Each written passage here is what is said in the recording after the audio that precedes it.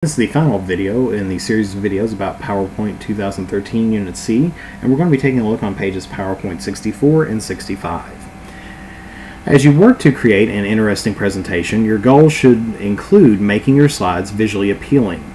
Sometimes plain text can come across as dull and unexciting in a presentation. Word art is a set of decorative text styles or text effects you can apply to any text object to help your uh, help direct the attention of your audience to a certain piece of information. You can use word art in two different ways. You can apply a word art text style to an existing text object that converts the text into word art, or you can create a new word art object. The word art text styles and effects include text shadows, reflections, glows, bevels, 3D rotations, and transformations. Taking a look now at step 1, it tells us that we want to go to the slide 8 thumbnail. So it tells us to click the slide 8 thumbnail, and that is in the thumbnails pane. And then we want to go to our insert tab on the ribbon, and then we're going to click on the word art button in the text group. And that is with the little sideways A here. And of course notice that we have several different A's now. And of course this is the word art gallery that appears and it displays 20 word art text styles. Of course a quick tip as well, to format any text with word art style, you can select the text, then you can click the Drawing Tools Format tab on the ribbon, and then you can click a word art style option in the word art styles group. In step 2, it tells us that we want to click the Gradient Fill Orange Accent 1 Reflection and that is this one right here. It's in the second row. So when we click on this, we now notice that a text object appears in the middle of the slide displaying sample text with the word art style that we've just selected. Now of course notice that the Drawing Tools Format tab, which is right up here, uh, is now opened up on the ribbon. In step 3, it tells us that we want to click the edge of the word art text object and when the pointer on here changes to a four-headed arrow with a pointer, we want to drag the text object to a blank area of the slide. So we're just going to drag this right over here. And then on step four, it tells us that we want to click on the More button uh, in the Word Art Styles group. So now we have our Word Art Styles group right here in the middle. We want to click on the More button. And then we can hover over with our mouse button all the different word art styles. So we can see how uh, the different styles of word art and how it looks. But ultimately, it tells us here um, that we're going to click on the Fill Orange Accent one. And of course, that is the one that has uh, the outline background one and the hard shadow accent one. That is this one right here that is in the third row and the third column. And that is the one that we want to click on. Now the word art style changes the sample text in the word art text object. And the new word art style is applied to the text object.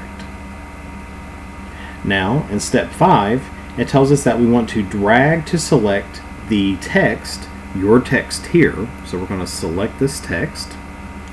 And then, um, once we have that, we're going to click the decrease font size button uh, on there.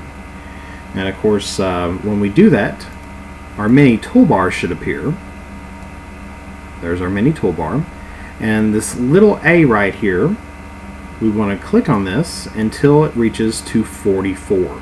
We want the font size to be 44. Once we have that, we can start typing, and we want to type best value. And then press our enter key, and then type of the summer. And then we'll notice that the text has is now a little bit smaller and that we do have two lines of text.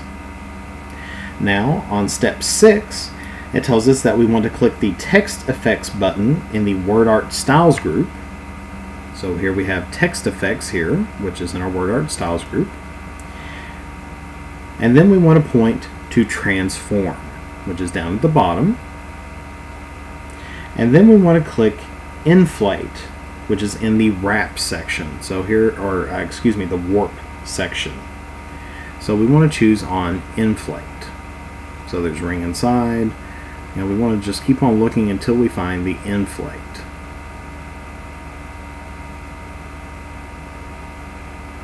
There's our deflate. We may have to keep on looking around until we uh, see the different ones. And there's inflate bottom. There's our deflate. And there's our inflate. So we're taking a look now at the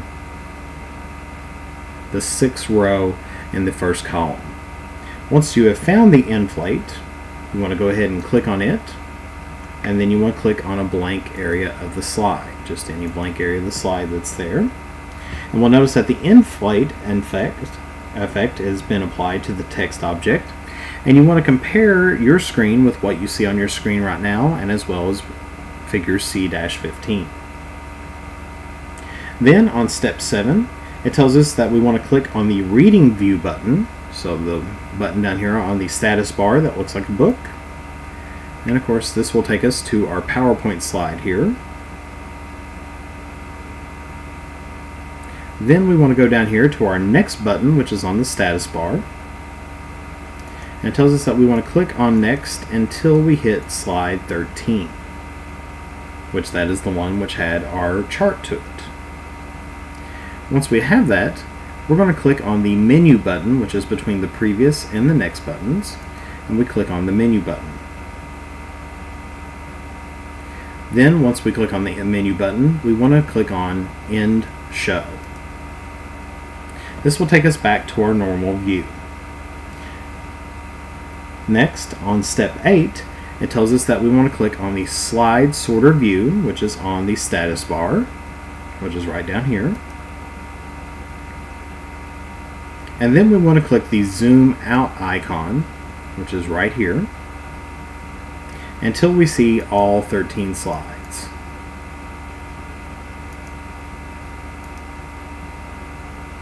And so you should roughly be at 80%. either 80% or you might could even go up to 70% as well depending on your screen size and resolution right now I'm at 80% uh, if you look at the text it shows it at 70% so you want to compare your screen to what looks like on here once you have this you can now click on the normal button which is on the status bar and then it tells us that we want to add your name and date as the footer to the slides to do that we can go up to our insert tab and then header and footer. And then on the slide, it tells us that we want to add the date. And we also want to add a footer here, which has your name on it. So I'm going to add my name to this. And then click on, and we're going to go ahead and just apply this to all. And then go ahead and save your changes. Once you have that, you can go ahead and close down the PPT C-QST and you're ready to upload that to CourseSites. But before finishing out this video, let's take a look on the bottom of page PowerPoint 65, in which it ta talks to us a little bit about saving your presentation as a video. Now you can save your PowerPoint presentation as a fully uh, or a full fidelity video, which incorporates all slide timings, transitions, animations, and narrations. The video can be distributed using a disk, the web, or email. Depending on how you want to display your video, you have three resolution settings from which to choose, which is either computer and HD displays, internet and DVD, and portable devices.